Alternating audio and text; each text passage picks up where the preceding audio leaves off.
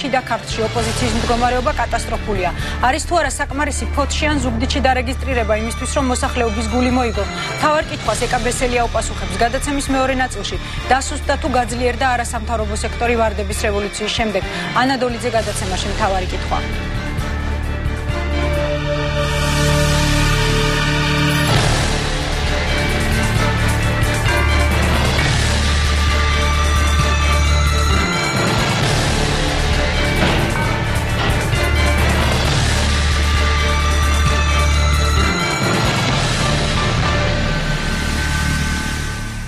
თავარ კითხვას ეკაბესელია გასცემს პასუხს საღამოშიდობის აკალბატონაკ. საღამოშიდობის. ვიდრე ფოთისა და სამეგრელოს თემას შევეხებოდეთ, რაც იქნება მთავარი თემა დღეს ჩვენი გადაცემის, ამ საღამოს გავრცელებული განცხადების შესახებ მინდა დაგისვა შეკითხვა. ეს არის აუდიტის სამსახურის მიერ გავრცელებული განცხადება, რომლის თანახმადაც ქართულ ოცნებას შემოსავლებთან დაკავშირებით აქვს პრობლემები და ისევ უწესდება კიდევ დამატებითი აკრძალვები, რადგან ერთ-ერთი კერძო შემომწირველი პირისგან თანხამ გადააჭარბა შესაბამის ლიმიტს. იქნებ განუმარტოთ მაყურებელს თუ ხართ ამის საქმის კურსში ზუსტად რა ახალი სანქციები დაუწეს და კოალიციას ფინანსური? მადლობა მოწვევისთვის ეკა და მივესალმები მაყურებელს რომელმაც უკვე მე ვფიქრობ, რაღაც სერიალიwith მიიღო ის შემოთავაზება ახალი სცენარი მიხეილ სააკაშვილისგან, რომლის თავარი პერსონაჟი არის ყოფილი კონტროლის პალატა და დღეს უკვე აუდიტის სამსახური და ყოველდღე აი ამ მორიგის სერიალის გმირი მსხვერპლი ეს არის თავარი პოლიტიკური ძალა დღეს ქვეყანაში ქართული ოცნება კოალიცია ქართული ოცნება და ეს არის ერთ-ერთი ბოლო სერიალი, ბოლო სერია, სადაც ისევ აუდიტის სამსახური იწყებს მორიგ პროცედურას. უკვე მე ვფიქრობ, რომ საღგონებას და ყოველგვარ ლოგიკას არის მოკლებული ის ქმედებები, რასაც ჩადის ხელისუფლება. გასაგებია, რომ მას ძალიან ეშინია, მაგრამ ზღვარს გადავიდა ფორმები უკანონობის, რომელსაც ის იყენებს. ჩვენ უკვე დიდი ხანია ყველა ანგარიში აბსოლუტურად კოალიციაში შემოვალი სუბიექტების არის დაყადაღებული, ინკასო დადებული. ჩვენ პრაქტიკულად საარჩევნო კამპანიას ვეწევით უფულოდ, ვერ ვიყენებთ ვერანაირ საარჩევნო საშუალებებს იმისთვის რომ მოსახლეობას მივაწოდოთ ჩვენი პროგრამები, ბუკლეტების, გაზეთების და სხვადასხვა საშუალებები ცივილიზებული ფორმით და გვიწევს ერთადერთი პირდაპირი კომუნიკაციის გზით მოსახლეობასთან საუბარი. მე გარწმუნებთ რომ აი ეს შემთხვევაც არის მორიგი პოლიტიკური ანგარიშწორების აქტი. უბრალოდ არ არ იღლება როგორც ჩანს აუდიტის სამსახური ქართულ ოცნებასთან ბრძოლით და არ ვიცი კიდევ რა დაგვრჩა დასაყადაღებელი და ინკასო დასადები, იმიტომ რომ ყველა ანგარიში როგორც გითხარით უკვე მათი და საერთოდ ყველა ანგარიში საქართველოში უკვე საბანკო ოპერაციები არის ხელისუფლების კონტროლის ქვეშ მოქცეული და ეს ამ შიშმა მიიღო ისტორიული სახე. არ ვიცი კიდევ რა ჯარიმები უნდა დაწესდეს და კიდევ რა თანხაზე იქნება უახლოეს დღეებში საუბარი, მაგრამ ფაქტია, რომ ის 80 მილიონი, რომელიც გადაიხადა ბიძინა ივანიშვილმა კახეთის დაზარალებული მოსახლეობისთვის და ჯერ ამ მოსახლეობას ეს თანხა ხელისუფლებისგან არ მიუღია და მორიგე 20 მილიონი, რომელიც ასევე უკანონოდ არის დაკისრებული, ბატონ ბიძინა ამბობდა, რომ საათარის გადაიხადოს, თუ კი ის მოსახლეობის გაჭირვებიდან გამოყვანას მოემსახურება და ამიზნით იქნება მიმართული, მაგრამ მე აბსოლუტურად ხა ისე როგორც ალბათ თქვენ და ჩვენი მოსახლეობის უდიდეს ნაწილს აქვს განცდა რომ ხელისუფლება არ შეიწუხებს თავს რომ გაჭირებულ მოსახლეობას თუმცა ქართული ოცნება ამბობს რომ მაქსიმალურად შეიძლება გააკონტროლოს ეს თანხები. რაც შეეხება ფოც ქალბატონეკა სადაც უკვე კარგახანია იმყოფებით და ეწევით საარჩევნო კამპანიას ხვდებით მოსახლეობას როგორ შეხვდნენ ფოთელები თქვენს კანდიდატურას, რადგან არა მხოლოდ წლევანდელ წინასაარჩევნო პერიოდში, არამედ წინა წლებშიც მუდმივად ვრცელდებოდა ინფორმაცია, რომ ფოთში ისევე როგორც ბევრ სხვა ქალაქში, უფრო მეტად სურთ ხოლმე ადგილობრივი მკვიდრი მაჟორიტარობის კანდიდატად. ამ ხრივ რა სირთულე გაქვთ? კარგია, რომ ეს ეს აღნიშნეთ ქალბატონო ეკა, იმიტომ რომ მე მოვდივარ ახლა იმ ქალაქიდან დღეს ჩამოვედი, აი მართლაც ისტორიული ფაზისის, აი მემკვიდრე ქალაქ ფოთიდან, რომელიც ამ ბოლო დროს რაღაცა ხშირად იღრუბლება და ფოთელები ხუმრობენ, რომ ჩვენი პრეზიდენტი ეთყობა ისე ღრუბელ-ღრუბელ მოფრინავსო. და ამიტომ ხშირად არის მოღრუბლულიო, თან ძალიან მოუხშირა ბოლო პერიოდში ფოთში სიარულს და განსაკუთრებით ხალისობენ, როგორ იმალება ხოლმე ღრუბლებში ჩვენი ფრინავი პრეზიდენტი და როგორც გითხარით, ეს ბოლო პერიოდი განებივრდა ფოთი, არა მარტო ღრუბლიანი ამინდებით, მიხელ სააკაშვილის რეალურად სტუმრობით ფოთში, რაც ალბათ იმას ემსახურება, რომ მისი განსაკუთრებული ესე ვთქვათ განსაკუთრებულად მიტოვებული ქალაქი ფოთი, განსაკუთრებულად მოძულებული, აი ესე ვიტყოდი პირდაპირ ქალაქი ფოთი, აი ხა უნდა რომ არჩევნების წინ ხელოვნურად გაიხსენოს, მაგრამ ფოთელებს რაში გამოიხატება ის რომ ფოთი იყო განსაკუთრებულად მიტოვებული? ფოთი რო ნახოთ ეკა თქვენ და მე აი დავდივარ უკვე ორი კვირაა, ქუჩა-ქუჩა, აი ყველა უბანში და ყველა კორპუსთან მივდივართ. გული მიკვდება რომ უყურებ ამ ქალაქს. ერთ დიდ სოფელს დაემსგავსა ეს ისტორიული ქალაქი რომელიც ძველი წელთაღრიცხოთ მერვე საუკუნიდან იხსენიებოდა უკვე და იქედან მოდის უდიდესი ცივილიზაციის მატარებელი ქალაქია და ერთადერთი ქალაქია საქართველოში რომელსაც აქვს ესეთი გეოსტრატეგიული და გეოპოლიტიკური მდებარეობა ეს ევრაზიის დერეფანია და საქართველოს კარიბჭეა. ასეთი პორტი არ აქვს საქართველოში არც ბათუმს სხვათა შორის. ესეთი უნიკალური შესაძლებლობები როგორც ფოთს აქვს არც არც ერთ ქალაქს არ აქვს და დღეს ფოთი ყველაზე ღარიბია, ყველაზე მიტოვებული, ელემენტარულად მოსახლეობა ცუდ მდგომარეობაშია ფოთში. უმძიმესი გზები არ არის ფოთში, გადათხრილია გზები, მიტოვებულია ეს ნაიარები და ნაკვალები თხრილები. ფოთს ამ საზღვაო ქალაქს არ აქვს წყალი და 3-4 საათი მიეწოდება დღეღამის განმავლობაში. ფოთს და ფოთელებს არ აქვს პორტი. რომელიც გაიყიდა ისე რომ არავინ არ იცის ვინ და როგორ მოახერხა მისი გასხვისება და ამას ჩვენ აუცილებლად მიუბრუნდებით და ფოთელები ზღვაზე ვერ გადიან. ეკა მათ გადაკეტილი აქვს სანაპირო ზოლი და ამ კერძო პირები აკონტროლებენ. ფოთელებს პალიასტომი და არა მარტო ფოთელებს საქართველოს პალიასტომი უკვდება რომელიც ეკოლოგიური კატასტროფის წინაშეა და მეთევზეები ვერ გადიან. მეზღვაურები დატოვეს აბსოლუტურად უმუშევრად უყურადღებოდ გამოყარეს ნავსადგური რომელიც უნიკალური იყო მთელ რეგიონში. დღეს ტერმინალად უნდა გადააკეთონ გადააკეთონ. გაჭირვებული ადამიანები თუნდაც ყოველდღე ხვდები. არ აქვს ელემენტარული საარსებო საშუალებები და ფოთელები რომელთაც ქალაქი ხელიდან ეცლებათ. ხა რა შეიძლება ფოთელობას. განსაკუთრებით განიცდიან რომ ფოთელები რაღაცა დაჩაგრულები არიან. იმის მიუხედავად, რომ ჩემი დიდი ბაბუა გიორგი ფილია, რომელიც სპორტში მოღვაწეობდა და იყო ძალიან ცნობილი ადამიანი და სხვა შორის ის იყო დიდი დიდი აკაკისთან ერთად ბავშვობაში ერთად იზრდებოდა, ძალიან საინტერესო ადამიანი იყო და მე ჩვენი შტო იქედან მოდის და ჩემი ბებია ბაბუაც შემშობლების დედმამა იქ ფოთში იზრდებოდა, იქ დაამთავრა სამედიცინო სასწავლებელი და მე გადმოვიდნენ ჩემი მშობლების სენაკში და სამეგრელოში გავიზარდე. თუმცა მე დედა გურული მყავს და ესე მეგრელ მეგრულ გურული ნაჯვარი ვარ და ფოცხათა შორის ამითა ძალიან უხდები. მე ფოთში გავიარე რეგისტრაცია და გავხდი ფოთის მაცხოვრებელი. რატომ? იმიტომ რომ განსაკუთრებული დამოკიდებულება გამოვხატე ამით ფოთელების მიმართ. მაგრამ ფოთელებისგან რა პასუხია ამაზე? ირაკლი ალსენიას დაარეგისტრირდა ზუგდიდში ეს კმა რა მათი გულის არა იცი ეს იყო ერთი ნაბიჯი ჟესტი რომთაც მე ვაგრძნობინე და ჩვენ ყველა ვაგრძნობინეთ. იქ სადაც ჩვენ შევედით იმ სივრცეში რომ ჩვენ ზუსტად ისეთნი ვართ, როგორც ისინი არიან, მაგრამ რაც შეხება მიმღეობას, მე ველოდებოდი, რომ ფოთი თბილად მიმიღებდა. მაგრამ ყველა ჩემოლოდინს გადააჭარბა, რასაც მე ვხედა. ამაზე სხვები მოყვებიან ალბათ და დღეს ბევრი გამოხმაურება იყო სხვათა შორის იგივე სოციალურ ქსელში.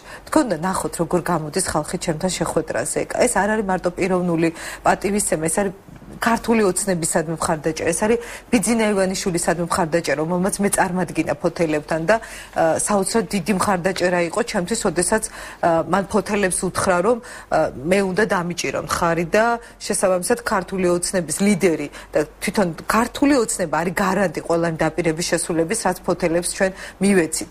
თქვენ უნდა ნახოთ, როგორი შეხვედრები მაქვს ხალხთან. აი შიში, რომელიც თაცნობილი იყო სამეგრელოში, განსაკუთრებით ახალაიების კლანი რო ეს ეწოლის მექანიზმები და დიდია იქ და დიდია და შიშის ფაქტორი. თქვენ პირადად პირადად გქონდათ ამ პრობლემასთან შეხება, ხელის შეშლასთან. ეს იყო პირველ დღეს, როდესაც ჩვენი აქტივისტები მოსახლეობას ხვდებოდნენ და ახალგაზრდები არიგებდნენ გაზეთებს და უშიშროების სამსახურის უფროს მოადგილე პირდაპირ ქუჩაში დახვდა მათ და მიაყენა ამ ბავშვებს შეურაცხყოფა და ჩვენ გავაკეთეთ ის რომ ამ ფაქტზე გამოძიება დავაწყებინეთ ფოთის საგამოძიებო სამსახურს და დღეს ვაკონტროლებთ რომ ეს გამოძიება ბოლომდე მივიდეს. ამ შემდეგ ღია ტიპის აგრესია არ გაუბედავთ მათ იმიტომ რომ ძალიან კარგად იციან ძალიან კარგად იციან პანიკა, რომ მე არ მივცემ უფლებას არც ერთ ჩინოვნიკს და არც ერთ მოხელეს, რომ ფოთის მოსახლეობის ვინც არ უნდა იყოს ის, ჩემ მხარდაჭერი იქნება თუ არ იქნება ჩვენი მხარდამჭერი, რომ მაწინაამდე დაიწყონ ძალადობა. ძალიან კარგად გზნობენ ფოთელები, რომ მათ ყავთ იქ კანდიდატი, რომელსაც შეუძლია მათი დაცვა. შეუძლია იმ კანდიდატს მე ჩემს ოლაპარაკო მივიღო პირველი დარტყმები, გაუძლო ყველანაირ წინააღმდეგობას და ზეწოლას, მათ ძალიან კარგად იციან ჩემი ისტორია, რა გზაც გავიარეთ ხემდე და გრძნობენ, რომ ისინი გარკვეულ ახაც აი დაცვის ქვეშ მოექცნენ. მე ძალიან ახლოს ვარ ხალხთან. დავდივარ ქუჩაში, დავდივარ ბაზარში, დავდივარ საჯარო თავშეყრის ადგილებს, სადაც დაუგეგმავი შეხვედრებია და ფოთელები ამბობენ, რომ ამდენი ადამიანი მაჟორიტარ კანდიდატთან შეხვედრაზე არასოდეს არ გამოსულა. მე ვლაპარაკობ იმ შეხვედრებზე, როდესაც ლოკალური პატარა შეხვედრებია და ძალიან ბევრი ადამიანი მოდის, თელი ქუჩა მოდის, სხვათა შორის ვანუ ჯავახიშვილი, რომელიც ხალისობს თუმე ჩემზე თავის ნობელ შოუში და ამბობს, რომ კოღოებს როგორ გადაურჩებაო? ეკაბესელია ფოთშიო მინდა უთხრა რომ კოღოებიც კი აღარ მემტერებიან? უკვე არც ერთ კოღო არ მოსულა ჩემთან საქმედან მე დიდ კოღოებს ვებძვი ახლა რომელიც დაეპატრონა ფოთს. საკრებულოს თავმჯდომარე მერი და ასე შემდეგ. თუ იცით ვინ იქნება ნაციონალური მოძრაობის კანდიდატი ჯერ ოფიციალურად არ დასახელებულა. ცოტა უცნაურია რომ ამ დრომდე ოფიციალურად არ ასახელებენ თუმცა არაოფიციალური ინფორმაციით ეს უნდა იყოს ნაციონალური მოძრაობის საკრებულოს წევრი დეპუტატი თენგისარიშვილი მე თუ მას დაასახელებენ დაასახელებენ ახლავე შემილია. პირველივე განცხადება თქვენ ეთერში გავაკეთე ეკა და მოუწოდო და უთხრა მას რომ მე მინდა რომ ღია დებატებში პირდაპირ ეთერში მასთან ერთად წარვსგე ამ ურჩევლის წინაშე და მინდა ვისაუბრო მასთან ერთად ფოთის პრობლემებზე და ძალიან მაინტერესებს ბატონ სარიშვილის პოზიცია თუ ის იქნება ნაციონალური მოძრაობის კანდიდატი. რამდენად ძლიერია ეს კანდიდატი? თუ კი მართლაც მას დააყენებენ. რამდენად გაქვთ გამარჯვების იმედი? მე დარწმუნებული ვარ ფოთელების ხარდაჭერაში. აბსოლუტურად დარწმუნებული ვარ, რომ ფოთის ამორჩეველი მხარს დამიჭერს. მე ვიცი, რომ ეს იოლი არ იქნება იმ ბარიერების გადალახვა, რომელიც ჩვენ გველოდება, მაგრამ მე მზად ვარ ამ სირთულეებისთვის. მე ფოთელებს როცა ხვდები, ამორჩეველს ხვდები, ვეუბნები, რომ ნუ მათ ნუ შეეშინდებათ, იმიტომ რომ ჩვენ 32-ის საარჩევნო უბანი გვაქვს 32-ე უბანზე ვიქნები. ყველგან გვეყოლება ჩვენ ძალიან ძლიერი იურისტების ჯგუფი, ძალიან ძლიერი კომისიის წევრები, მომზადებულები, რომლებიც არ და დაუშვებენ რომ მოხდეს გაყალბება. თავარია იყოს აქტიურობა. სხვათა შორის ფოთი არის ის ქალაქი, საქართველოსში და ერთადერთი ქალაქი, როდესაც საპრეზიდენტო არჩევნების დროს 2008 წელს სააკაშვილმა არჩევნები წააგო. და მე სხვათა შორის ამას ფოთელები მეუბნებია, რომ ამის მერე შეგვიძულაო სააკაშვილმა, რომ აკპატიობსო იმ გადაწყვეტილებას. მე ვამაყობ, რომ მაშინ ფოთელებმა ეს გადაწყვეტილება მიიღეს და დარწმუნებული ვარ, სამეგრელო, რომელიც არის ჩვენთვის ძალიან მნიშვნელოვანი, ძალიან მნიშვნელოვანი, ესე როგორც ყველა რეგიონი, მაგრამ განსაკუთრებით სამეგრელო, იმიტომ რომ ყველაზე მეტია მაცხოვრებელი და განსაკუთრებით დიდია მთელი ეს პერიოდი ბოლო წლებში ხელების ზეწოლა სამეგრელოს მოსახლეობაზე. აჩვენებს მაგალითს როგორ უნდა სამართლიანობისთვის ბრძოლა და ფოთი იქნება ამისი პირველი მერცხალი, პირველი სტიმული. თუმცა მართლ პარტიას სხვა მონაცემები აქვს იმასთან დაკავშირებით თუ როგორია დღეს მათი მდგომარეობა და უნდა კონდეთ თუ არა გამარჯვების იმედი მთავარ კითხვას ეკაბესელია პასუხს გასცემს სარეკლამო ბლოკის შემდეგ.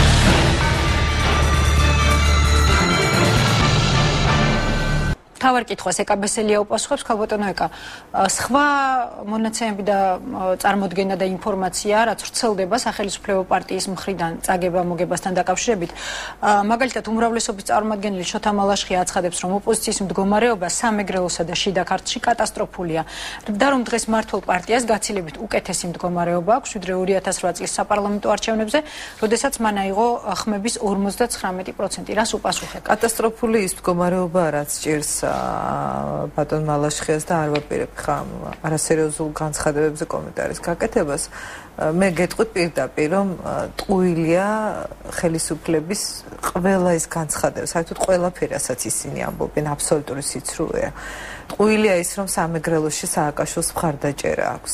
არავინ არ დაიჯეროს რომ სამეგრელოს მოსახლეობას მოწონს ის პოლიტიკა რომელსაც სააკაშვილი ახორციელებს.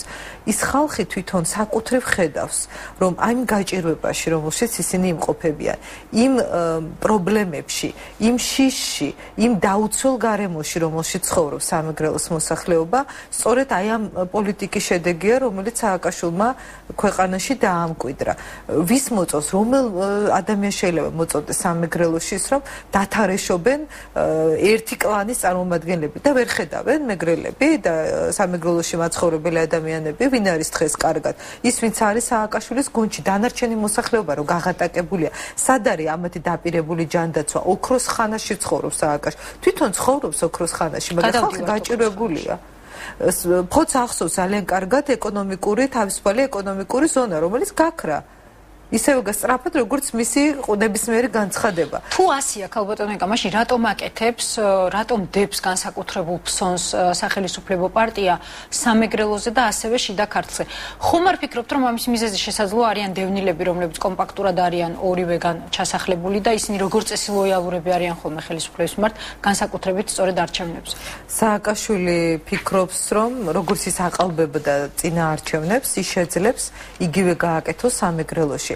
მე ვფიქრობ, რომ ნებისმიერი ცივილიზებული ქვეყნისთვის და საერთოდ თელი ცივილიზებული სამყაროსთვის საკმარისია მაგალითისთვის ჩვენ უთხრათ რომ ერთი ახალაი არის შინაგან საქმეთა მინისტრი მეორე ძმა ახალაი ეს არის თავდაცვის სამინისტროს ერთ-ერთი მთავარი ხელმძღვანელი პირი და პრაქტიკულად ის არის მინისტრი და мама რომელიც აბსოლუტურად განაგებს სამეგრელოში მთლიანად ადმინისტრაციულ რესურსს ის არა მარტო პროკურორი იყო ის იყო გუბერნატორის მოსამართლეც გაუმ გამოძიებელიც და ნებისმიერი რიგითი დამნიშნავი პირის გადამწყვეტიც. აი ეს მარტო ეს მოდელი რომ აუხსნათ ჩვენ დანარჩენ თელ საერთაშორისო საზოგადოებას აბსოლუტურად საკმარისი იქნება. გაიგოს რა პირობებში უწევს სამეგრელოში ხალხს ხორება მაგრამ დევნილების ფაქტორი რა დევნილები ძალიან ბევრი არიან. ფოთში 9000-ზე მეტი დევნილია. შევხვდით მათ როგორ განწყობა? ყოველდღე ხვდები და არიან უმძიმეს პირობებში. მე არ ვიცი, უბრალოდ მცირე ნაწილის გარდა, ძალიან მცირე ნაწილის გარდა, ვინ უჭერს მხარს მიხელ სააკაშვილს და მის გონს. მცდარია წარმოქმნა იმის შესახებ, რომ დევნილები აძლევენ ხოლმე ხმას უმეტესობას, უმრავლესობა. ეს იყო ადრე, როდესაც დევნილთა აი მოლოდინს და იმე ძალიან ბოროტად იყენებდა ხელისუფლება. მე დარწმუნებული ვარ, რომ დღეს დევნილები, რომლებიც იქცნენ სააკაშვილის მძევლად, პირად მძევლად, აბსოლუტურად სწორ და სახგადაწყვეტილებას მიიღებენ. მათ უნდა დაბრუნება თავიანთ სახლებში. სახლში დაბრუნების გარანტი მათთვის არის სწორედ ქართული ოცნება და მისი ლიდერი, რომელიც ხელისუფლებაში მოვა. ამას დევნილები ხვდებიან, მე ეკა ვერ წარმომიდგენია, რომ ადამიანები, რომლებიც ამდენი წელია და ამას დაემატა ის აგვისტოს ომის შემდგომ იძულებით გადაადგილებული გადაადგილებული პირები. ვერ წარმომიდგენია, რომ ისინი ვერაცნობიერებდნენ. პირიქით დარწმუნებული ვარ, რომ ხედავდნენ, რომ მათი ამ მდგომარეობაში ყოფნა არის სააკაშვილის პოლიტიკის შედეგი. იმიტომ რომ ამ ამ ადამიანს პასუხისგებლობა არ უგრძნია დევნილების მე რა პირობებში ცხოვრობენ ისინი? არა აქვთ არანაირი საშუალება. თავის გადარჩენის და მათი დიდი ნაწილი გასულია უკვე იმ კომპაქტური ჩასახლებიდან და ეძებენ თავის გადარჩენის საშუალებას სხვადასხვა ადგილებში მათ შორის ქვეყნის გარეთ მე მჯერა რომ დევნილები პირველ რიგში დევნილები სააკაშვილის პოლიტიკას გამოუცხადებენ სწორედ პროტესტ არჩევნებზე მისვლით და ჩვენ ყველას ვეუბნებით რომ თავარი რომ სახში არავინ არ დარჩეს და ამის შემდგომ გადაწყვეტილება მიიღოთ როგორ ქვეყანაში უნდა ცხოვრება სააკაშვილის აი პოლიტიკის პირობებში როდესაც მას სააკაშვილს უნდა დაგვაბრუნოს ფეოდალური მართვის ტიპის ქვეყანაში თუ მომავლის საქართველოში რომელსაც ბიძინა ევანიშვილი და ქართული ოცნებას თავაზობს. ხა ბატონო, რამდენად რამდენი ინფორმირებულია რეგიონებში და კონკრეტულად სამეგრელოში მოსახლეობა ობიექტური რეალობის შესახებ. რამდენად აქვთ მათ საშუალება რომ მიიღონ ალტერნატიული ინფორმაცია? თული ვითარება ფოთში შესაძლოა ფოთი ქალაქია და მეტად მეტად ცოტა მეტად არის შესაძლებლობა რომ მეტი ინფორმაცია მიიღონ თქვა ინტერნეტის საშუალებით და შემდეგ. მაგრამ იქ სადაც ჩვენ გვაქვს სოფლების ალტერნატიული ინფორმაციის გარეშე და ყოველდღე usmenen ნაციონალური არხებით როგორ მოდის სიცრუე იხურება ხელისუფლებისგან სააკაშვილი როგორ ყვება ტყუილს რომ თურმე ბიძინევანიშვილი არის რუსული პროექტი და ჩვენ ხალხს ვეუბნებით ვინ არის რუსული პროექტი პროექტის გამტარებელი. სააკაშვილი რომელმაც ჩვენი სტრატეგიული ობიექტები გადასცა რუსეთს აგვისტოს ომის შემდგომ მათ მათ შორის. თუ და ძალიან იოლია და დანახვა და გავლება პარალელის რუსული პროექტია სწორედ სააკაშვილი რომლის პოლიტიკის მადასტურებელია დღეს ავითარებაშიც არის ქვეყანა და ბიზინა ივანიშვილი, რომელიც მთელი ცხოვრება და განსაკუთრებით ბოლო წლები და 10 წელიწადია სხვათა შორის, თითქმის 10 წელი რუსეთში არ შესულა და ბოლო 4 წელიწადზე მეტი ქვეყნის გარეთ არ გასულა არც ერთი დღე და აკეთებს ქართულ საქმეს, უხმოდ, უსიტყვოდ და ეს არის ალბათ საქართველოს ისტორიაში, ალბათ კი არა ნამდვილად ესეა, ყველაზე დიდი ქველმოქმედი. ხალხს ეს ესმის, მიუხედავად იმისა, რომ ის ისმენს ნაციონალური არხებიდან იმდენ ტყუილს ყოველ დღე. ამ ყველაფერს აანალიზებს და ჩვენ ხალხს აქვს უნიკალური თვისება. ეკადე მე ამის მჯერა, რომ კრიტიკულ სიტუაციაში და ეს კრიტიკული ეტაპი დაუდგა დაუდგა დღეს სამშობლოს. რაღაცნაირად ახერხებს თვითორგანიზებას, მობილიზებას, ძალების გაერთიანებას. ყველა ამბობს შეხვედრაზე რომ მოდი საერთოდ რომ ფოთელები მოდიან და ვიცი რომ იგივე სიტუაცია სამეგრელოში. რომ ეს არის ბოლო შანსი ჩვენთვის. ეს არის ბოლო იმედი. ბიძინა ივანიშვილში ისინი ხედავენ ქვეყნის გადარჩენის შანსს. ამას ხალხი აცნობიერებს. თუმცა ეს არის დღევანდელი ვითარება, მაგრამ აქამდე როგორც საპარლამენტო ისევე ადგილობრივ არჩევნებს გავიხსენებ, როდესაც მაჟორიტარ კანდიდატებს ოპოზიციის ძალიან უჭირდათ გამარჯვების მიღწევა. რითი ხსნით ამას? პირველ რიგში იმით, რომ არათანაბარ პირობებში ვართ აბსოლუტურად, როდესაც ნაციონალური მოძრაობის ნებისმიერ კანდიდატს, ვისაც ისინი დაასახელებენ, აქვს ღია სივრცე ყველა ეთერში.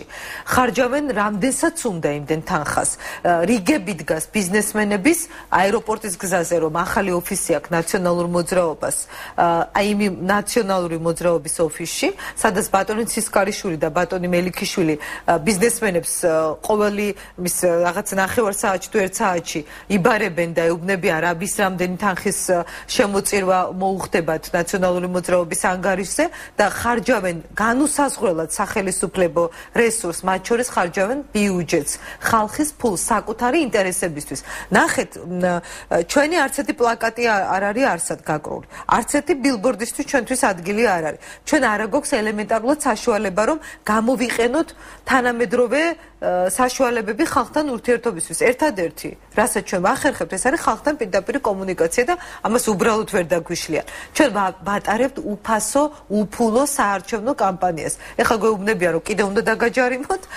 ეხლა გვეუბნებიან, რომ თქვენ ამოგეწურათ ყოველგვარი ლიმიტი. ნუ ეს ეხლა მე მე ვფიქრობ, რომ ეს არის სულად არანორმალური ვითარება, მაგრამ რამდენადაც ესე იქცევა ხელისუფლება, ეს უფრო მეტად მარწმუნებს ეკა, რომ მათი დღეები დათვლილია. ყველაფერი არის ხალხს ასე დამოკიდებული. აი ეს ის ეტაპია, როდესაც 1 ოქტომბერს ხოთა შორის როგორი მნიშვნელოვანია, რომ მართლაც დაემთხვა ეს დღე და შემთხვევით არაფერი არ ხდება. აი ბიძინობა არის 1 ოქტომბერი და ეს ხო არა შემთხვევით. მე მგონი ამის შემდეგ უფრო შეიშალა ჩვენი პრეზიდენტი ისეთებს აკეთებს, რაც გააცნობიერა, როდის მიიღო გადაწყვეტილება. თუმცა გავრცელდა რამდენიმე დღის წინ კადრები იმის შესახებ სამეგრელოს უკავშირდება ესეც როგორც რთნიან სამოქალაქო ფორმებში ჩართულა და ჩაცმულა ადამიანებს ეს არის რაღაც გაურკვეველი ფორმირება. თქვენი აზრით რისთვის ამზადებენ ამ რაზმებს. სააკაშვილი მზად არის ალბათ ნებისმიერ ტიპის პროვოკაციის ინიციატორი იყოს როდესაც ის დაინახავს რომ ძალაუფლებას რეალურად კარგავს და ხელიდან ეცლება ეს არის მე ვფიქრობ ყველაფერი მოსახლეობის თვის საფრთხეების გაძლიერებისთვის. მაგრამ მე მინდა გითხრათ რომ არ უნდა შეეშინდეს ჩვენს ხალხს არაფრის იმიტომ რომ დარწმუნებული ვარ არც ჯარი ქართული ხალხის წინააღმდეგ არ გამოვა. არც ქართული პოლიცია, მიუხედავად იმისა, რა მეთოდებიც არ უნდა გამოიყენოს ხელისუფლებამ. ქართული ხალხის წინააღმდეგ არ გამოვა. შიდა პროცესი დაიწყო, სადაც აი თვითონ შიგნით, პოლიციის შიგნით, ჯარის შიგნით, სახელმწიფო სტრუქტურების შიგნით ადამიანები ხვდებიან, რომ არ უნდა გადადგან ნაბიჯი ხალხის წინააღმდეგ. თუმცა ცალკეულ შეხვედრებზე ზოგჯერ დღეში რამდენიმეჯერაც დღეს მაგალითად ჩვენ ჟურნალისტ კახეთში სულიად შეგნებულად გამგეობაში მოაყოლეს ხელი კარებში. ანუ ცალკეული ზოგჯერ უფრო მცირე, ზოგჯერ უფრო დიდი ძალადობის ფაქტებს ჩვენ ხედავთ. რა დასკვნის გაკეთების საშუალებას გაძლევთ ეს? რამდენად ჩაივლის არჩევნები მშვიდ ვითარებაში? ჩვენ ყველაფერს გავაკეთებთ, რომ ეს იყოს მშვიდობიანი. ყველაზე მშვიდობიანი არჩევნები და მე დარწმუნებული ვარ, რომ კოალიციის ლიდერი ბიძინა ივანიშვილი, რომელსაც აქვს მართლაც რაღაც შესაშური მოთმინების და შინაგანი ნებისყოფა და შინაგანი მართლა ძალების მობილიზების უნარი, აბსოლუტურად მშვიდობიანად წარიმართება ყველა პროცესი. სააკაშვილისგან ჩვენ რასაკურველი ყველაფერს ველოდები, თუმცა მე მინდა უბრალოდ მოსახლეობა, განსაკუთრებით სამეგრელოს მოსახლეობა, რომელიც მუდმივად დაძაბულ რეჟიმში ცხოვრობს, ეკა დავა გამამშვიდო და უთხრა რომ ჩვენ შეგვიძლია ნებისმიერი საფრთხე გავანეიტრალოთ რითი აქტიურობით მოსახლე ყველა უნდა მივიდეს არჩევნებზე. რასაკვირველია ხელისუფლება არის ერთი კრიმინალური ბანდა. ამიტომაც უფრო აუცილებელია რომ მათი წასვლა დაჩქარდეს. ყველა უნდა გამოვიდეს საარჩევნო უბანზე. აქტიურობა დაძლევს ნებისმიერი გაყალბების მასშტაბს. ჩვენ დღეს შეგვიძლია ჩვენი ხმების დაცვა. ჩვენ გვეყოლება ძალიან კარგი კომისიის წევრები, გვეყოლება მომზადებული წარმომადგენლები და ძალიან კარგად ვიცი ჩვენ ხელისუფლება რა მეთოდებს იყენებს. თავარი არის აქტიურობა. ყოველას ვეუბნებით, რომ არავინ არ დარჩეს სახლში, იმიტომ რომ ყალბდება სწორედ ის ხმები, ვინც არ მიდის არჩევნებზე და არის ესეთი გენიალური გამოთქმა. ცუდ ხელისუფლებას, ცუდ მოხელეს. ირჩევს ის კარგი მოქალაქე, რომელიც არჩევნებზე არ დადის. ჩვენ ვიყოთ ის მოქალაქეები, რომლებიც აი ირჩევენ კარგ ხელისუფალს. ჩვენ ზია დამოკიდებული, ჩვენი ქვეყნის ბედი, ჩვენი შვილების ბედი. ეს ქართული ოცნებისთვის ხმის მიცემა კი არ არის. ეს საკუთარი მომავლისთვის და ქვეყნის გადარჩენისთვის ხმის მიცემა. მე იმედი მაქვს, რომ ყველა მივა არჩევნებზე, გარწმუნებთ ეკა, აი ამ არჩევნებზე ყველაზე მეტი იქნება ამ მომრჩეველთა რაოდენობა. ამაში ვარ დარწმუნებული. როგორც ფოთელებში, ასევე დანარჩენ სამეგრელოში, დანარჩენ საქართველოში. ყველა გრძნობს უკვე, რომ ახლოვდება კრიტიკული ეტაპი. სააკაშვილს შემთხვევით კი არ წამოწდა, რომ მე ვის დაუთმობ ქვეყანა მას. გამარჯვება ნებისმიერ ფასად. აცხადებს სააკაშვილი. მათთვის მე იმიტომ რომ იმდენი დანაშაული ჩაიდინეს ეკა რომ ხვდებიან რომ უკან დასახევი გზა ახარ დაიტოვეს მაგრამ მარტო მათი სურვილი ხო არ არის. უფლის ყალობით ყველაფერი კარგად იქნება. თავარი ქართველი ხალხია. თავარი ჩვენ ვართ. ის საერთაშორისო საზოგადოება ჩვენ გვიყურებს ქართულ ხალხს უყურებს. რა ნაბის გადავდგამ ჩვენ? ჩვენ ხო შევძელით 2008 წელს თბილისში არჩევნები? ოფიციალურად ოქმებით მოვიგეთ მაგრამ დანარჩენ საქართველოსში გაყალბების მასშტაბმა იმატა. რატო ვარ ჩვენ? საერთაშორისო აზრმა ითამაშა მაშინ გადამწყვეტი მაგრამ ეხლა რატო ვარ ჩვენ რეგიონებში? წასულები მე ხომ ამიტომ ვარ ფოთში. ირაკლი ალასანია ხომ ამიტომ არის ზუგდიდში. მურთას ხურცილავა ხომ ამიტომ არის მარტულში. ლევან იზორია და კიდე ჩვენი ყველა ღირსეული წარმომადგენელი სამეგრელოში რომ ჩვენ იქ უნდა გავაძლიერო ჩვენი მოსახლეობა. მე ვიცი რომ ყოველდღე დამყვება მანქანა ოფისთან დგას მეცხრე ინფოს ინფოცხრის ჟურნალისტებს იმ დღეს რამდენიმე დღის წინ სახში შეუვარდნენ და აივანზე დადიოდნენ.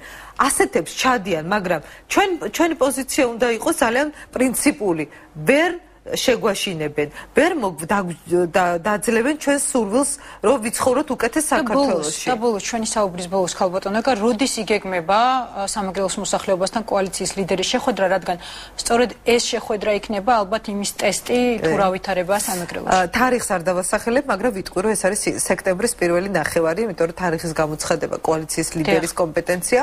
სექტემბრის პირველი ნახევარი, მე ვიცი, რომ სამაგრელო ძალიან ელოდება ბიძინა ივანიშვილს, ხოთა შორის ფოთში, როდესაც 6 აგვისტოს იყო ფოთის მოსახლეობა მარიცოდა. ძალიან მცირე ნაწილმა იცოდა, იმიტომ რომ ჩვენ ბოლო წუთამდე არ ქონდა შესაძლებლობა ეს საჯაროდ გაგვეცხადებინა და ძალიან ელოდებიან სამეგრელოში.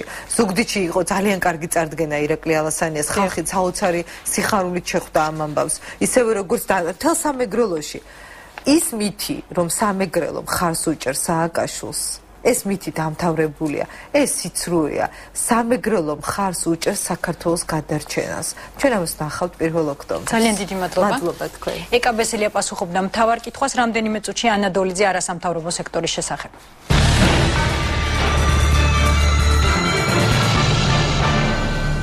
თავარ კითხვას პასუხს ანადოლიძე გასცემს საღამოშტობის ანა. საღამოშტობის აქ.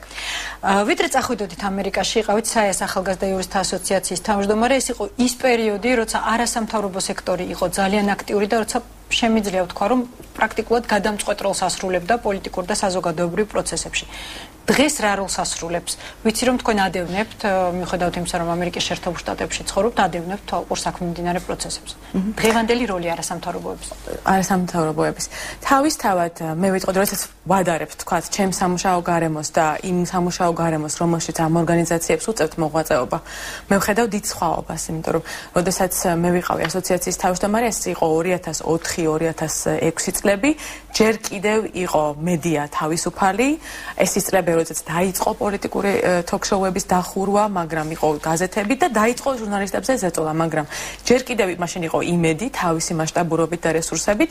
ანუ გარკვეულწილად ჩემთვის და ჩემ მაშინდელ ჩემ თანამშრომლისთვისაც უფრო ადვილი იყო ეფექტურად რომ ყოფილიყავი ეფექტური. დღეს გარემო ბევრად უფრო უარესია, ვიცით რომ წნეხი მეტია, მედია გარემო გაუარესებულია, ანუ მოქმედება უფრო ჭირს. თუმცა ერთ რამეს ვიტყოდი, ერთ შედარებით კარგ ტენდენციას ხედავ დღეს, თუ ჩვენ გავითვალისწინებთ, როგორ ნაწილდება ნელ-ნელა ეს უახლესი ტენდენცია არის ჩემი აზრით, როლები სამოქალაქო არასამთავრობო სექტორსა და ოპოზიციას შორის, იმიტომ რომ ხშირად აღრეული არის ხოლმე როლი, ვინ არის კრიტიკოსი და ვინ არის ალტერნატიული გზის მაჩვენებელი.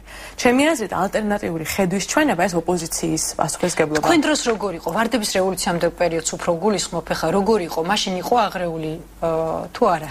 ვარდების რევოლუციამდე პერიოდი იყო ჩემი აზრით საკმაოდ ანომალიური პერიოდი სახელმწიფოებრივი თვალსაზრისით, როდესაც აბსოლუტურად დაჩუნგებული იყო სახელმწიფო სამსახური და უამრავი ფუნქცია, მათ შორის მომსახურების გაწევის, რაც უნდა ყოფილიყო სახელმწიფო ფუნქცია, არასამთავრობო სექტორს ჰქონდა შეთვისებული, იმიტომ რომ ამ სერვისებს უბრალოდ ვერ გასცემდა სახელმწიფო დაწესებულებები. ეს მოგვიანებით 2004 წლიდან მოგვიანებით შედარებით უფრო სწორად, სწორი მიმართულებით შეიცვალა, იმიტომ რომ ბევრი მომსახურება, რომელიც ისედაც სახელმწიფომ უნდა გასწიოს, ამას გასწევს სახელმწიფო. თუმცა ერთი პერიოდი 2004-2005 წლები საკმაოდ მძიმე პერიოდი იყო ეს, როდესაც მე ვფიქრობდი, რომ ჩვენ საერთოდ აღარ გვეყოლებოდა არასამთავრობო სექტორი, იმიტომ რომ აქ შეწყდა მოხდა ესე იგი გონების გადინება, ასე ეძახიან, ანუ იმ სამუშაო ძალის გადინება სახელმწიფო სექტორში და შემცირდა ეს უფრო საერთაშორისო ორგანიზაციების ბრალია, შემცირდა რადიკალურად დაფინანსება. თუმცა მოგვიანებით ყველამ გაიაზრო, რომ ეს სექტორის ამ ისევე საჭიროა როგორც როგორც სხვა ხელისუფლება, მას ხო ეძახიან ხან ხან მესამე ხელისუფლებას, ხან მეოთხე ხელისუფლებას და ამ მოხდა მოხდა მისი ისევე გაძლიერება. მაგრამ აი რომ შეაფასოთ საბოლოოდ თქვენი აზრით სამოქალაქო სექტორი დასუსტდა თუ გაძლიერდა ვარდების რევოლუციის შემდეგ, იმიტომ რომ სწორედ ეს სექტორია საზომი ქვეყნის დემოკრატიულობის და ვარდების რევოლუციის გაცხადებული მიზანი კი სწორედ იყო დემოკრატიის დამკვიდრება ქვეყანაში. სამოქალაქო სექტორის გავლენა, თუ ჩვენ გულისხმობთ კონკრეტულად არასამთავრობო ორგანიზაციებს, მათი გავლენა შესუსტებულია. ეს უკავშირდება რამდენიმე ფაქტორს. პირველი, მედია ანუ მათი პირველი საშუალება რის მეშვეობითაც ისინი კავშირს ამყარებენ საზოგადოებასთან. ეს ბუნებრივია მედია. მედია საშუალებები მეტად უფრო შეზღუდულია ხო? პალიტრა მედია საშუალებებისა. გარდა ამისა წნეხი გამოხატვის თავისუფლებაზე აზრის თავისუფლებაზე მეტია. მესამე სახელმწიფო და ბიზნეს სექტორი გახდა კონკურენტუნარიანი. ანუ როდესაც არასამთავრობო სექტორს სჭირდება ადამიანები რომლებიც წარმოშობენ იდეებს ამ ადამიანებისთვის ბრძოლა უკვე მიმდინარეობს ბიზნესთან და სახელმწიფო სექტორთან, რომლებიც მათ უკეთეს სამუშაო პირობებს დავაზობენ. ამ ფაქტორების გამო მათი მუშაობა ამ სექტორში დღეს უფრო რთულია, ვიდრე მანამდე იყო. ხომ არ ფიქრობთ, რომ ერთ-ერთი მთავარი მიზეზი იმის, რომ დღეს არის შედარებით სუსტი არასამთავრობო სექტორი. არის სწორედ ის თქვენ წეგან თქვით რომ გადინება ადამიანების მოხდა სახელმწიფო სექტორში. ან დღეს ხელისუფლებაში არიან ის ადამიანები, ვინც თავის დროზე იყო სწორედ არასამთავრობო სექტორში და თავის დროზე ძალიან სერიოზულ გავლენას ახდენდნენ პოლიტიკურ და საზოგადოებრივ პროცესებზე. აქედან გამომდინარე, აა წნეხი ხომ არ გაძლიერდა, იმიტომ რომ მათ იციან არასამთავრობო სექტორის ფასი და თუ არასამთავრობოები კონტროლის ფუნქციას ობიექტურად ასრულებენ, შესაბამისად მათ ასევე ობიექტურად შეიძლება გავლენა მოახდინონ პროცესებზე. ანუ შეგნებულად ხომ არ მოხდა ხელისუფლების მიერ დასუსტება ამ სექტორის ამაში მდგომარეობს შეკითხვა. მე ვფიქრობ, რომ არა, მე ვფიქრობ, რომ როდესაც ახლა თუ გავიხსენებ 2006 წელს მე ჩემს ჩემი ორგანიზაციასა და ვთქვათ ირაკლი ოქროაშვილის თაოსნობით დაპირისპირებას ხო რომელმაც აწარმოა საკმაოდ დიდი კომპანია კამპანია ჩვენი ორგანიზაციის დასასუსტებლად ეს იყო მიზანმიმართული მცდელობა რომ ამ ორგანიზაციაზე მოეხდინათ კონტროლი იმიტომ რომ ის სახელმწიფო კონტროლს არ ექვემდებარებოდა. თუმცა გარდა ამისა მე მე მაინც მგონია რომ აქ ეკონომიკური ფაქტორები უფრო მეც დიდ როლს თამაშობს. იმ კადრს მაგალითად იგივე ახალგაზრდა იურისტთა ასოციაციაში, რომელსაც ჩვენ ვწრთნით, ხო? ერთ-ერთი საუკეთესო სკოლა იურისტების ჩემი აზრით ამ ორგანიზაციაში წარმოიშობა. დღეს ამ კადრის დასაქმებისათვის დიდ კონკურენციას აწარმოებს სახელმწიფო სექტორი. ეს ადამიანები არჩევანს აკეთებენ სახელმწიფო სამსახურსა და არასამთავრობო სექტორში მუშაობას შორის. თუმცა ეს არჩევანი მხოლოდ და მხოლოდ ეკონომიკურ ფაქტორებზე ხშირად არ დაიყვანება, რაც მე ძალიან მიხარია და აქ იდეოლოგიური ფაქტორებიც მუშაობს თავის როლს თამაშობს. და ეს კარგია თუ ცუდი ის რომ იდეოლოგიური ფაქტორები თამაშობს თავის როლს და მაგალითად ადამიანი მიდის არასამთავრო არა არასამთავრობო სექტორში არამედ სახელმწიფო უწყებაში. ეს კარგია თუ ცუდი? თავისთავად მე ვფიქრობ რომ სახელმწიფოებრივი თვალსაზრისით ეს ცუდი მოვლენა არ არის ანუ როდესაც ადამიანი ადამიანს უნდა რომ იმსახუროს მაგალითად საჯარო რეესტრში იყოს ჩვეულებრივი სახელმწიფო მოხელე, ამისათვის მას აქვს გარკვეული პირობები შექმნილი სახელმწიფოებრივი თვალსაზრისით აქ ცუდი არაფერი არა. ჩვენთან სხვა პრობლემაა, რატო გვიქნება ეჭვი. მე ამ რეალობაში ვსაუბრობ. ამ რეალობაში პრობლემა ის არის. ხო, ამ ანუ თავისთავად სახელმწიფო ის რომ ედუარდ იყო ედუარდ შევარდნაძის დროს, რომ არ თუ არ იყავი კორუმპირებული, ვერ გაძლევდი სახელმწიფო სამსახურში და იქ მიდიოდა ყველაზე მეტად ქვენა გრძნობების მქონე ადამიანები, პირობითად ამ ყველა ასეთი რა თქმა უნდა არ იყო, ეს იყო ანომალია. მაგრამ დღეს რაც უნდა გავითვალისწინოთ ის არის რომ სამოქალაქო სახელმწიფო სამსახური და პოლიტიკური იდეოლოგია არის ერთმანეთში აღრეული. ეს არის ანომალია. იმიტომ ჩვენ მაგალითად მე ვყოფილ ვარ ტრენინგებზე ბრიტანეთში, როდესაც გასწავლიან როგორ უნდა იყოს საჯარო სამსახური მოწყობილი. საქართველოში ვერ გავიზიარებთ ბევრ მაგალითებს, რომელსაც გასწავლიან ტრენინგზე ბრიტანეთში იქნება ეს თუ საფრანგეთში, იმიტომ რომ ჩვენთან თავარი პრობლემა საჯარო სამსახურზე ის არის, რომ საჯარო სამსახური არის პოლიტიზირებული. ისე მაგალითად ბრიტანეთში როგორ არის? არის მინისტრი, მინისტრის მრჩევლები, ისინი იცვლებიან და ბიუროკრატია ადგილზე რჩება. ჩვენ ვიცით როგორ ხდება, ხო? ჩვენ სახელმწიფო სამსახურში იცვლება მინისტრი და მინისტრი მოდ ახალი მინისტრი მოდის და აკომპლექტებს მთლიანად თითქმის ყველა შტოს სახელმწიფო სამსახურისა, იმიტომ რომ ის მოქცეულია გარკვეული პოლიტიკური გავლენის ქვეშ და ასევე ნათესაურ პლანური გავლენის ქვეშ. ეს ანომალია. აა ცნობილია დღეს, რომ საზოგადოება არის პოლარიზებული. შეგიძლიათ თუ არა თქვა, თუ კი დააკვირდით აქ რა პროცესები ასევე არასამთავრობო სექტორში, რომ ამ სექტორში ხდება იგივე, ანუ პოლარიზაცია, ორ მხარედ გაყოფა, თუმცა მთავარ კითხვას ანადოლიძე უპასუხებს სარეკლამო ბლოკის შემდეგ.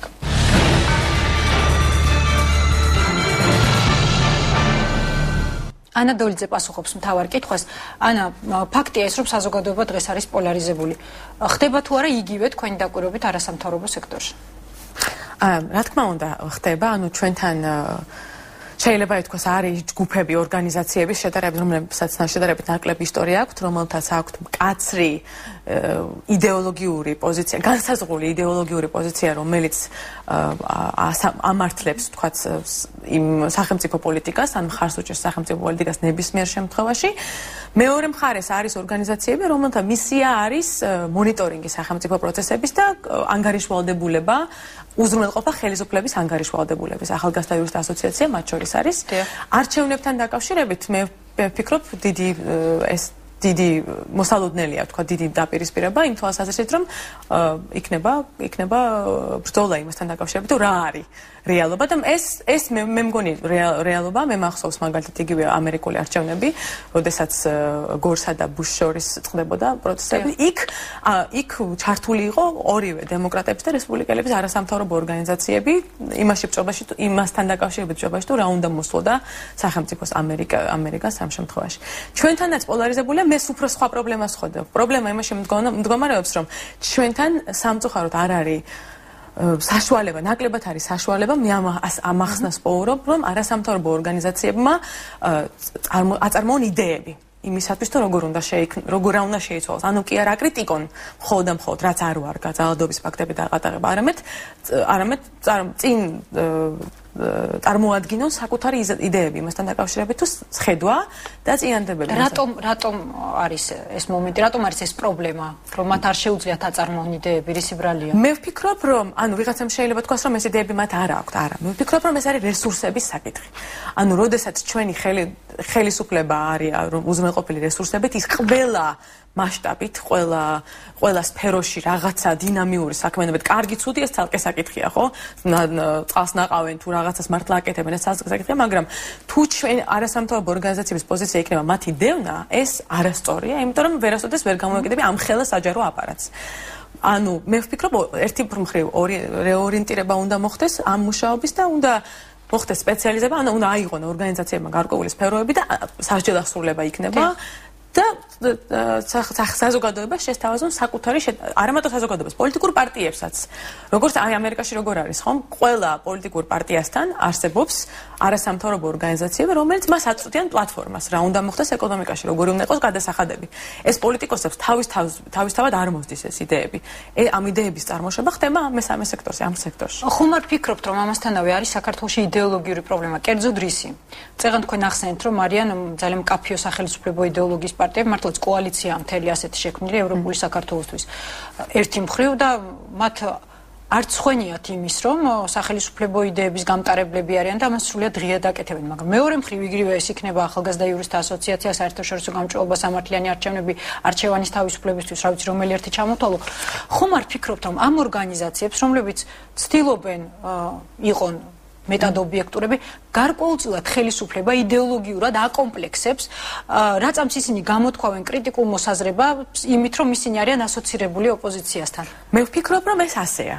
ანუ ჩვენ ეს ეს პროცესი ასე ასეა თავისთავად და ეს პროცესი მე ვიტყოდი ორმხრივი ანუ ერთის მხრივ როდესაც ერთ-ერთი ასეთი ორგანიზაცია რაღაცა შინაარსობრივად რაღაცა აზრს გამოთქვამს მას აბრალებენ რომ იგი მიკერძოებულია. მეორეს მხრივ როდესაც რომელიმე პოლიტიკოსი ორგანიზაციას გააკრიტიკებს აკრიტიკებს ეს ორგანიზაცია წარმოადგენს ხშირად აქვთ არასამთავრობოებს, რომ ისინი კრიტიკას არ ექვემდებარებიან. სინამდვილეში ეს ნორმალურ სახელმწიფოში ეს არის ორმხრივი პესარი ღია ქუჩა, ორმხრივი ქუჩა. ერთის მხრივ არასამთავრობო ორგანიზაციებს თავისუფლად შეიძლება და არა მარტო შეიძლება, უნდა ჰქონდეთ საკუთარი პოზიციები. ეხლა ახალგაზრდა იურისტთა ასოციაციას ეს პოზიციები, მკაცრი პოზიციები აქვს იგივე ადამიანის უფლებათა სფეროში. ხშირად ისინი იურისტები თავისი პროფესიიდან გამომდინარე, უბრალოდ ჩაყენებულები არიან მდგომარეობაში, უბრალოდ გასცემთ კითხვას პასუხი. რას ამბობს კანონი? კანონი ამბობს იმას, რასაც შეაწერს პარლამენტი, ხო? ანუ ხშირად შეიძლება ჩვენ მოგვეჩვენოს, რომ იურისტები ემსახურებიან ხელისუფლების ინტერესს, მაშინ როდესაც ისინი უბრალოდ გადმოსტემენ რა ხდება. რა ხდება?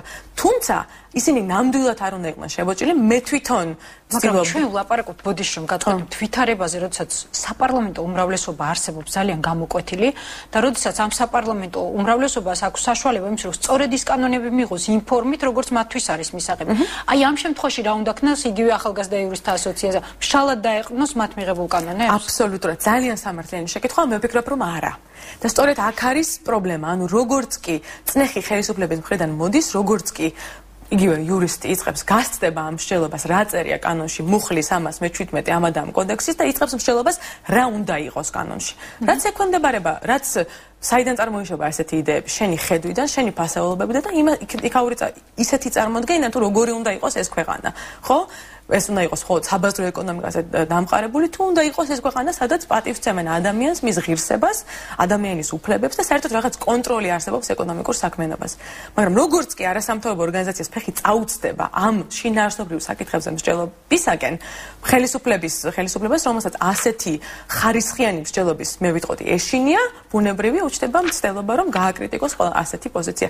მე არა მე მიჭირს რადგანაც ვიცი რა ხდება ქვეყანაში წნეხის თვალსაზრისით მე მიჭირს გავამტყუნო ადამიანი, რომელიც იმიტომ რომ იქ გარკვეული წნეხი წნეხი არის ქვეყანაში შექმნილი, ეშინია საკუთარი აზრის გამო. თქვენ რას იზავდით დღეს რომ იყოთ საქართველოს და იყოთ არასამთავრობო სექტორში? ხო, მე აი მე ხანდახან ამაზე ძალიან ხშირად ვფიქრობ და მართალი გითხრათ არ ვიცი, იმიტომ რომ ერთი ჩემი მხარე მიბიძგებს რომ ვთქვა რომ მე ესეთი გამბედავი ვარ, რომ ეხლა იზუსტად ისევე მოვიქცეოდი, როგორც ვიქცეოდი 2006 წელს, მეორეს მხრივ იმდენად თავ იმდენად ხვდები რომ მეც ადამიანი ვარ ისე როგორც თუმცა ხელისუფლება იგივეა ანა.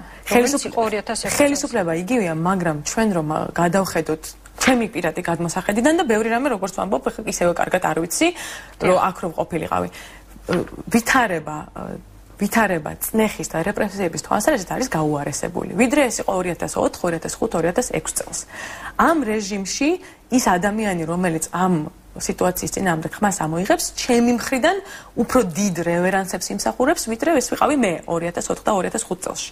აა იმიტომ რომ როგორც ვამბობ, ყველა ჩვენ ადამიანები ვართ, მე ჩემ თავს მაგალითად მოვთხოვ გარკვეულ მიწიერ შიშებზე ზევით დავდგე, მაგრამ სხვა ადამიანს მე არ მაქვს უფლება რომ მორალური გადმოსახედიდან გადმოხედო და თქვა რომ რატო ხმას არიღებ და რატო რაღაც რისკებზე არ მედიხარ, ხო?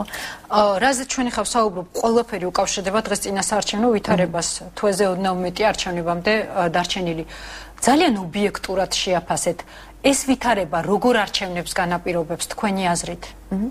ჩემი აზრით და მე საბედნიეროდ ამაზე მაქვს გარკვეული წარმოდგენა უკვე გროვდება თქვა დამკვირვებელ ორგანიზაციებში და კანონის მიხედვითაც ასეა უკვე დაწყებულია საარჩევნო პროცესი დაწყებულია დაკვირვება საარჩევნო პროცესზე უკვე ჩანს რომ აა უკვე ჩანს რომ სერიოზული იმის ამბიციას, რომ ეს არჩევნები იქნება სამართლიანი, უკვე სერიოზული ჭრილი აქვს გადაფარებული. უკვე თავისთავად ის კლიმატი, რომელიც საარჩევნო, ხო ვიცით, შეკრების თავისუფლება აქ დახვდნენ, იქ დახვდნენ, ცემეს, გაიტაცეს, გაიტაცეს ერთი დაღუპული ვაჟის მშობელი და ასე შემდეგ. ყოველდღე არის ასეთი ინფორმაცია. თავისთავად ვითარება დაძაბულია. მე ვფიქრობ, ეს მოქალაქეებს არ უნდა აძლევდეს საშუალებას, არ უნდა წარმოშობდეს მოქალაქეთა შიშს, რომ ისინი არჩევნების დღეს მათ არ მოიხატონ სამოქალაქო ვალი და არ მივიდნენ საარჩევნო ყუთთან. 1 ოქტომბერს ჩვენი როგორც მოქალაქეების მოვალეობა ეს არის. ხო? მაგრამ რა მოვალეობა აქვს არასამთავრობო სექტორს არჩევნების დღეს? ანუ რა როლი შეიძლება შეასრულონ დღევანდელმა არასამთავრობოებმა იმასთან დაკავშირებით, თუ როგორი შედეგები იქნება არჩევნებზე? რამდენად შეუძლიათ მათ ლეგიტიმაცია მისცენ ან არ მისცენ ამ შედეგს? ეს ძალიან ეს ძალიან მნიშვნელოვანი საკითხია და მე ამაზე სანამ პასუხს გავცემ, დავეყნობი ჩვენ გამოცდილებას 2008 წელს საპრეზიდენტო არჩევნებთან დაკავშირებით. იმედი მაქვს, რომ ამ სექტორში იქნება არის შესაძლებლობა რომ ეს გამოცდილება ჩვენ გავიხსენოთ ეს 2008 წლის გამოცდილება. ეს გამოცდილება როგორია რომ ერთმა წინადადებამ რომელიც იყო რომ პრინციპში არჩევნები პირადად პირობითად თარგმნი არჩევნებმა კარგად ჩაიარა და შემდეგ მოდიოდა მთელი ჩამონათვალი დარღვევებისა მაგრამ ამ ერთმა ფრაზამ განსაზღვრა არჩევნების ბედი ჩვენ ეს უნდა გავითვალისწინოთ. ის რომ ეს ფრაზა რომელიც დაიწერა საერთაშორისო ორგანიზაციების ანგარიშში რომლებიც შეიძლება წინასწარ არ გულისხმობდნენ და არ ჰქონდათ წარმოქმნილი ეს გამოყენებული იქნებოდა ძალიან სავალალოდ არჩევნების შედეგების გასაყალბებლად ეს უნდა გავითვალისწინოთ რომ რომ ეს ყველა წინადადება, რომელსაც საერთაშორისო და ადგილობრივი ორგანიზაციები ყველანაირი ქცევა, რომელსაც ისინი აწარმოებენ ამ ხნის განმავლობაში, შეიძლება გამოყენებული იქნეს არჩევნების შედეგების ლეგიტიმაციისათვის, ან ან ან შესანიღბავად. თუმცა არჩევნები არ ყალბდება მხოლოდ არჩევნების დღეს. თქვენი აზრით შეუძლიათ თუ არა დღეს არასამთავრობოებს მიუხედავად ზეწოლისა პრესისა და ამ შემდეგ გააკეთონ არც თუ ისე რთული სამუშაო. დღეს არის უპრეცედენტო ვითარება ერთი მხრივ. ან როდესაც მედია საშუალებები მუშაობენ ჩართული არის მასტკერი ჩვენს არხს ინფოცხრას მაესტროს აქვთ ვიზუალური დაძდევენ ერთია მაგრამ აქვთ ამის ვიზუალიზაციის საშუალება. ჩვენ გვაქვს არაერთი კადრი დღეს მაგალითად თუ არ ვწდები 2 თუ 3 ძალადობის ძალიან კონკრეტული ფაქტი გადაიღო ჩვენმა არხმა. შეაგროვონ მათ თუნდაც ეს ფაქტები, თარგმნონ ინგლისურ ენაზე, ნინა ახალკაცმა ისაუბრა ამის შესახებ გუშინ ჩემს გადაცემაში და მიაწოდონ იმ უცხოურ ორგანიზაციებს, რომელთა ვალდებულება არის შემდეგ არჩევნების შეფასება საქართველოში. კი, მე ვფიქრობ, რომ ამის მოხერხებას არ უდგას წინ არაფერი და მე ოდნავ ცოტა ეხა ამ კონკრეტულ პროცესებში რა ხდება, ზუსტად არ ვიცი, მაგრამ რახან ვიცი ეს პროცესები როგორ მუშაობს, ზოგადად თქვა იგივე ახალგაზრდა იურისტთა ასოციაცია როგორ აკვირდება არჩევნებს რა მასშტაბით, მე მგონია, რომ ეს პროცესები დღეს მიმდინარეობს. ანუ ინფორმაციის გაცვლა მიმდინარეობს იგივე ჩვენ საერთაშორისო პარტნიორებთან და იგივე სახელმწიფოებთან. ეხლა ამას უკვე კონკრეტულად რა რეაქცია მოყვება, უცხოური სახელმწიფოების მხრიდან ბუნებრივია ეს დამოკიდებულია ქვეყანაში სიტუაცია იქნება და თვითონ შიგნით რამდენად მომწიფდება გარკვეული გადაწყვეტილებები. მაგრამ აი ამ საქართველოსში იმ რამდენიმე ორგანიზაციაში რომელსაც მეტაკლებად ვიცომ მე მგონი მიმდინარეობს გარკვეული კოორდინაცია განსაკუთრებით ინფორმაციის გაცვლასთან დაკავშირებით. და ჩვენი საუბრის ბოლოს ვიცით რომ თქვენ მალე ტოვებთ საქართველოს და არ იქნებით აქ საარჩევნო პროცესებში. თქვენი აზრით რა პროცესები გველის წინ ოქტომბრამდე? ოქტომბრამდე ძალიან რთული ახლა ვანგასროს როლში მთხოვთ რომ ვიყოთ. არ თუმცა არის რეალური ვითარება და აქედან გამომდინარე კი, თავისთავად ახლა მე ვიხსენებ მაგალითად 2003 წელს ხო? ცოტა მეტნაკლებად ვიცი მანამდეც მე არჩევნებში სტუდენტი ვიყავი და ყოველთვის გადავდიოდი ადგილობრივ არჩევნებში დამკვირვებელიც ვიყავი საპარლამენტო არჩევნებშიც ვიყავი. აი 2003 წელთან მსგავსებას თუ ხედავთ მაგალითად? მე ვხედავ კი, მაგრამ იმის თქმა მინდოდა რომ რეალურად საარჩევნო პროცესები ჩვენ და სასირცხვილოთ, ეს უნდა ვთქვა. და აქ მე მთელ ქართველებს არ გულისხმობ, გულისხმობ ხელისუფლებას, რომელიც ყოველთვის პასუხისგებელია არჩევნების ჩატარებაზე. ბევრი რამე არ შეცვლილა. ანუ გაყალბებები, ჩაყრა, მეთოდოლოგია, ტექნოლოგია შეიძლება იცვლება, შეიძლება უფრო დახვეწილი ხდება, ამარჩევნებზე მე მგონი უფრო უხეში ხდება. 2008 წელს, როდესაც მე ვაკვირდებოდი იგივე საპრეზიდენტო არჩევნებს და ვნახე სამარშრუტო ტაქსებით როგორ ხდებოდა მობილიზება მოსახლეობის, ჩემი ზედაპირული შეფასებით პროცესები უფრო რბილად მიმდინარეობდა. იყო ზეწოლა, გაყალბება ცალსახად იყო, მაგრამ ეს არ იყო ისეთი უხეში და რეპრესიული ფორმით, როგორც ხდება დღეს. აი ამ დიცხაობას მე ვხედავ, მაგრამ ერთი რამე არის გასათვალისწინებელი, რასაც იმედია რომ არ არ ვარ დარწმუნებული, მაგრამ შინაგან იმედი მაქვს, რომ ჩვენი ხელისუფლება ხდება, რომ ყველანაირ ძალადობას აუცილებლად მოსდევს საზოგადოების რეაქცია. მე ეს მიკვირს, რომ მე უკვირთ ხოლმე, რომ რაღაც რატო არის წინააღმდეგობა, რატო არის მობილიზება. ეს თავისთავად გასათვალისწინებელია და აქ აქვს აი ამის პრევენციაში ან გადაწყვეტაში მე მგონი აქვს ძალიან დიდი როლი. მესამე ძალას ეს არიან ჩეულებრივი ადამიანები მოქალაქეები ვისაც ამ ქვეყნისათვის გული შესტკივა აი მათი პასუხისგებლობის იმედი მაქვს. ძალიან დიდი მადლობა. დიდი მადლობა. ანა დოლიძე პასუხობდა. მთავარ კითხვას მე ორ შაბათამდე გემშვიდობები და სასიამოვნო და მშვიდ შაბათსა და კვირას გისურვებთ